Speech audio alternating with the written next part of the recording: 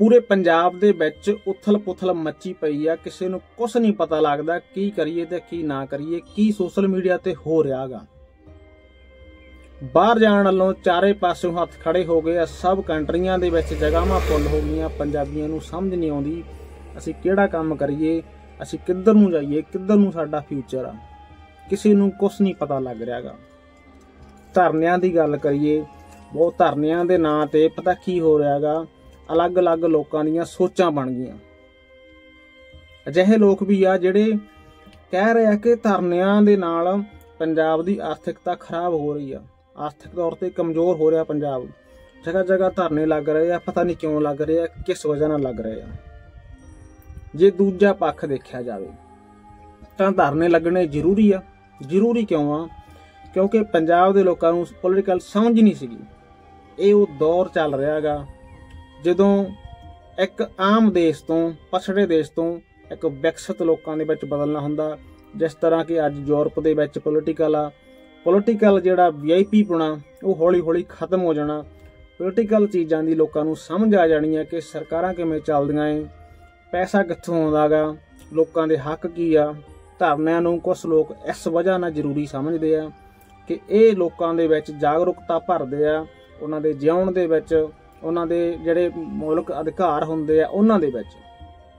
ਦੂਜੇ ਪਾਸੇ, ਜੇ ਹੁਣ ਧਰਨੇ ਆਪਾਂ ਦੇਖੀਏ ਵੀ 2 4 5 ਸਾਲ ਤੋਂ ਲੱਗਣ ਲੱਗੇ ਆ, ਤਾਂ ਉਦੋਂ ਪਹਿਲਾਂ ਅਰਥ ਵਿਵਸਥਾ ਤਾਂ ਉਹਨਾਂ ਨੇ ਖਰਾਬ ਨਹੀਂ ਕੀਤੀ ਸੀ।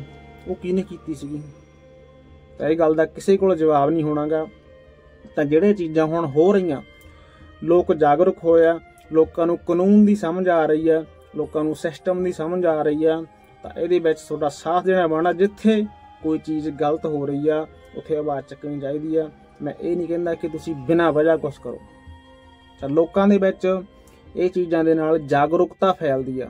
ਉਹਨਾਂ ਨੂੰ ਸੰਵਿਧਾਨ ਦਾ ਪਤਾ ਲੱਗਦਾ, ਉਹਨਾਂ ਨੂੰ ਕਾਨੂੰਨ ਦਾ ਪਤਾ ਲੱਗਦਾ, ਉਹਨਾਂ ਨੂੰ ਆਪਦੇ ਅਧਿਕਾਰਾਂ ਦਾ ਪਤਾ ਲੱਗਦਾਗਾ ਜਿੱਥੇ ਹੁਣ ਪੰਜਾਬੀ ਬਾਹਰ ਦੇਸ਼ਾਂ ਦੇ ਵਿੱਚ ਜਾ ਕੇ ਕੰਮ ਕਰਨਾ ਚਾਹੁੰਦੇ ਆ, ਹੁਣ ਪੰਜਾਬ ਦੇ ਵਿੱਚ ਦੇਖੋ ਤੁਸੀਂ, ਕੰਮ ਦੀ ਕੋਈ ਕਮੀ ਨਹੀਂ ਆ ਸਕਦੀ। ਸਿਰਫ ਕੀ ਲੋੜ ਆ? ਖੇਤੀ ਨੂੰ ਇਸ ਢੰਗ ਨਾਲ ਕਰਨ ਦੀ ਲੋੜ ਆ, ਆਪਦੇ ਸਟੋਰ ਬਣਾਉਣ ਦੀ ਲੋੜ ਆ ਖੁਦ ਦਾ ਸਰੋਂ ਦਾ ਤੇਲ ਵੇਚਣ ਦੀ ਲੋੜ ਆ ਪੂਰੇ ਦੇਸ਼ ਨੂੰ, ਖੁਦ ਦਾ ਗੁੜ ਵੇਚਣ ਦੀ ਲੋੜ ਆ, ਖੁਦ ਦਾ ਕਹ ਲੋ ਖੁਦ ਦਾ ਆਟਾ ਵੇਚਣ ਦੀ ਲੋੜ ਆ। ਜਿਹੜੀਆਂ ਜ਼ਰੂਰਤ ਦੀਆਂ ਖਾਣ ਦੀਆਂ ਚੀਜ਼ਾਂ ਐ, ਜਿਹੜੀਆਂ ਕਿ ਮੌਲਾਂ ਦੇ ਵਿੱਚੋਂ ਲੋਕ ਖਰੀਦਦੇ ਆ, ਉਹ ਸਾਰੀਆਂ ਚੀਜ਼ਾਂ ਜੇ ਪੰਜਾਬ ਖੁਦ ਉਗਾ ਕੇ, ਆਪ ਦੇ ਸਟੋਰ ਬਣਾ ਕੇ ਆਪ ਵੇਚੇ, ਤਾਂ ਪੂਰਾ ਮੋਰੀ ਬਣੂਗਾ ਕਿ ਨਹੀਂ ਬਣੂਗਾ? ਬਹੁਤ ਅਮੀਰ ਹੋਊਗਾ। ਪੰਜਾਬ ਨੂੰ ਬਾਹਰੋਂ ਮੈਂ ਕਹਿੰਦਾ ਇੱਥੇ ਕਾਮਿਆਂ ਦੀ ਲੋੜ ਪਊਗੀ। ਇੰਨਾ ਜ਼ਿਆਦਾ ਕੰਮ ਹੋ ਸਕਦਾ।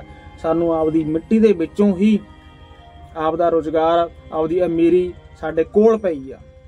ਪਰ ਅਸੀਂ ਝਾਕ ਰਹੇ ਹਾਂ ਆਸੇ-ਪਾਸੇ ਕਿ ਕਿਤੇ ਕੁਝ ਹੋਰ ਹੋ ਰਿਹਾ, ਬਹੁਤ ਵੱਡਾ ਸੀ, ਉੱਥੇ ਜਾ ਕੇ ਵੜੀਏ ਤਾਂ ਸਾਨੂੰ ਆਪਦੇ ਵੱਲ ਦੇਖਣ ਦੀ ਲੋੜ ਆ, ਆਪਦੀ ਮਿੱਟੀ ਵੱਲ ਦੇਖਣ ਦੀ ਲੋੜ ਆ। ਆਪਦੀ ਸਾਡੀ ਮਿੱਟੀ ਦੇ ਵਿੱਚ ਬਹੁਤ ਪੈਸਾ ਪਿਆਗਾ ਜਿਹੜਾ ਅਸੀਂ ਹੌਲੀ-ਹੌਲੀ ਚੁੱਕਣਾਗਾ ਤੇ ਪੂਰੇ ਪੰਜਾਬ ਨੂੰ ਖੁਸ਼ਹਾਲ ਕਰਨਾਗਾ ਠੀਕ ਹੈ ਜੀ, ਆਪਾਂ ਮਿਲਦਾ ਨੈਕਸਟ ਵੀਡੀਓ ਦੇ ਵਿੱਚ। ਫੋਲੋ ਜ਼ਰੂਰ ਕਰ ਲਿਆ ਕਰੋ ਪੇਜ ਨੂੰ ਪੰਜਾਬੀ ਸਟੇਟ